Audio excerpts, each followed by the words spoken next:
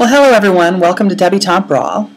And um, gosh, what do I have to say? It's been a while. Okay, you know what? I'm, I'm just going to start skipping that because it's always been a while. I'm just not a very good blogger, vlog, vlogger, video blogger.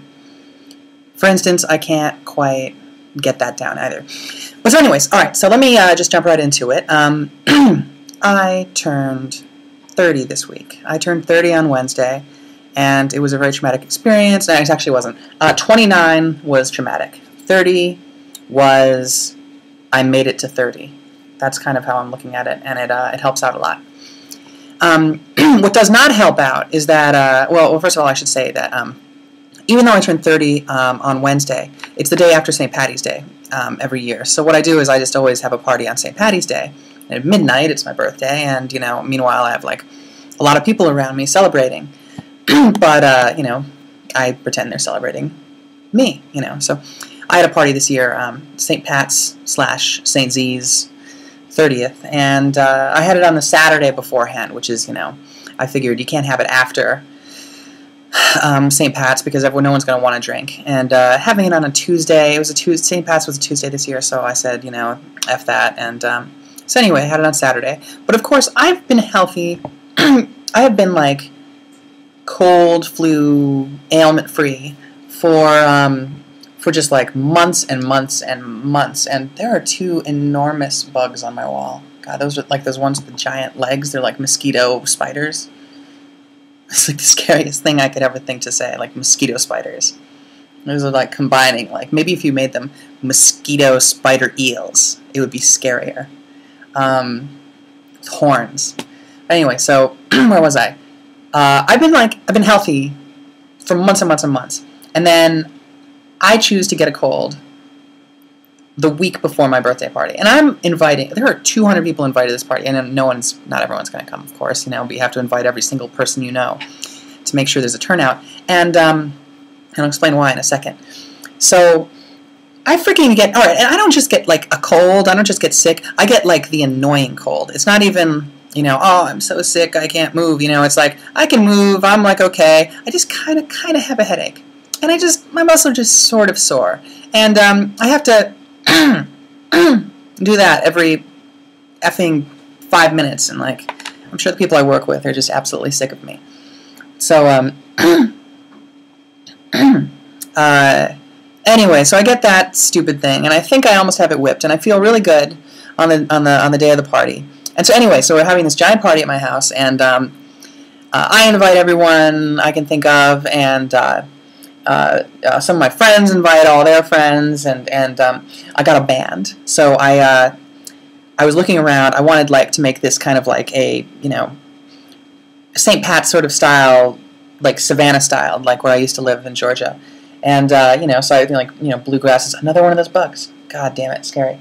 Um, so I got this bluegrass band that I um, that I know that my friend uh, is slash used to be in, and and they're fantastic. I'm to put their link over here. They're called Rose's Pawn Shop, and they're amazing. I've seen them here in L.A. and I've seen them in Nashville. Um, uh, in Nashville, I saw them in uh, the basement underneath Grimey's Music Store. I don't know if you guys are familiar with that. If you're from if you're from Nashville, and uh, um, awesome show, really good band, and um, not terribly expensive. But I really wanted people to turn out, and so uh, my one of my best friends um, cooked. Uh, he came over like at 10 a.m. Like I was, we were just waking up over here, and he came over at 10 a.m. and him and his his wife cooked um, uh, a slow cooked pulled pork uh, barbecue.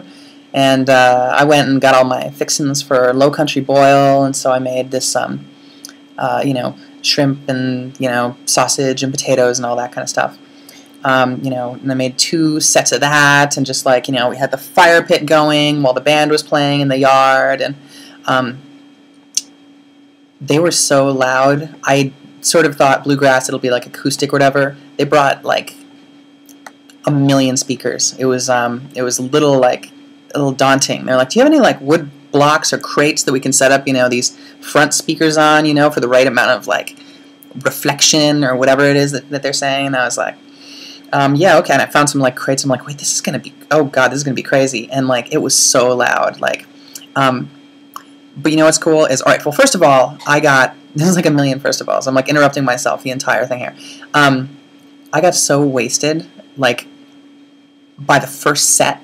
Like um, I'd already been drinking like all day with my friends, and like not even anyone at like like 30 people showed up so far, and I'm already blitzed, and I'm doing like car Irish car bombs, you know, with like everybody that shows up, and with the band. Like I think I had like two Bloody Marys, like a sweet tea vodka, five Irish car bombs, like a couple of Guinnesses. Like I mean, I'm heavy, you know, like you know, like I'm kind of big, you know, like 160 pounds, or whatever. But like that's a lot of drinks. That is a lot of liquor, and I was wasted. But apparently, people are all telling me that I was like, you know, a decent drunk. I was like a, a social social drunk. Um, suffice to say, I had a blast as much as I can remember, and other people said that they had they had fun too. But um, so check this out my 30th birthday, the last birthday of my 20s, because I was still in my 20s on my 30th birth on my in my party, I had the cops come and shut us down. Yeah. Well, they didn't really shut us down. They just told us to stop playing. But the band already played two of the three sets they were going to play, and it was already like, you know, like 10 or something like that. And we're like, that's it. We'll shut it down. We had a good run, you know. They played some awesome songs, and um, uh, so I guess we basically just, you know, got down to the, the the the real deal and just you know started really drinking. Um, it sounds so stupid. Like I'm sure the cop showed up and was like, you know, like what is this? Some 20, 20 year old, 21 year old's birthday party or something like that. But no, it was my 30th. F yeah, you know. Um, but he was really cool, and uh, I people brought me gifts, and it was so sweet. I really didn't expect it. I never tell people it's my birthday when I have a party. I always say it's a St. Patty's party, and then like when people, you know, say why do you have a St. Patty's party? I'm like, oh yeah, it's my birthday as well. And so I got all these like amazing, great gifts like from from people. The band gave me uh, this wicked wife beater of like, see the Rose's Pawn Shop, and um, my friend Angelina got me all this like cool stuff from like um, Japanese and Korean stuff. This bag is like adorable. It has little bears on it that are just up to no good. One is juggling an apple. Oh, there's a bird. Oh, it's a bird and a bear.